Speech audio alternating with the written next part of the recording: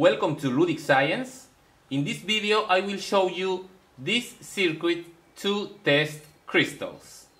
As you may know, crystals are widely used in electronics for oscillator circuits.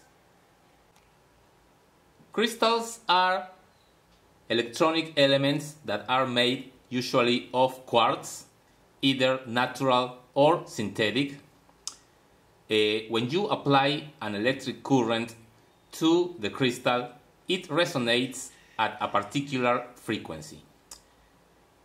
In fact, uh, the quartz inside the, the element is normally cut in the form of a tuning fork, just as a mechanical vibrator. And the frequency that you obtain from the quartz crystal is very, very precise, which makes them perfect for electronic oscillators. Next time you need a PCB for your electronics project, consider using the professional services of JLC PCB. JLCPCB is the world leader in PCB fabrication. You can order online. You just need to register, upload your Gerber file, and wait a few days for your PCBs at an unbeatable price. Here you can see the crystal tester diagram. It works with 9 volts DC and here we put the crystal under test.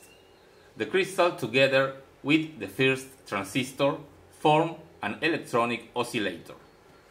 These two capacitors form a capacitive voltage divider and the signal goes, the oscillating signal goes through this capacitor that filters out any DC component. So at this point we must have a sinusoidal uh, output. This goes to these two diodes which rectify the signal and is filtered by this other capacitor. So at the base of the transistor we get a DC voltage that turns the second transistor on and the LED turns on. But if the crystal is bad, no oscillations will be produced and no current will go to the base. Therefore, the LED will not turn on. So here is the circuit on breadboard. The crystal under test will be connected at these two points and if the crystal is good, our LED will turn on. So let's do the test. I will take this uh, crystal here, which is of 12 megahertz, and connect it to the test points of the circuit. And let me turn on the power supply, 9 volts, and there you can see that the LED turns on, meaning that the crystal is good. If we change the crystal with this other one, which is bad, we can see that the LED remains off.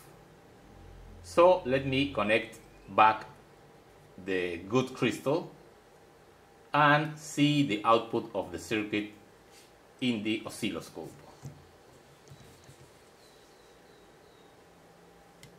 I will connect first uh, the point before the rectifier part. So there you can see the output, which is uh, almost a sine wave. And I don't know if you can see in the screen, but here we can see that the oscilloscope says that is 12.00 megahertz. So that uh, tells us that the crystal produces a very very precise frequency output. And now if I move the test point of the oscilloscope to the base of the second transistor, there you can see the rectified signal which is DC that is fed to the base of the second transistor. So there you have it, a very simple circuit to test crystals. I hope you liked this video. If that is the case, please visit my Patreon page. Thanks for coming to my channel and see you in the next video.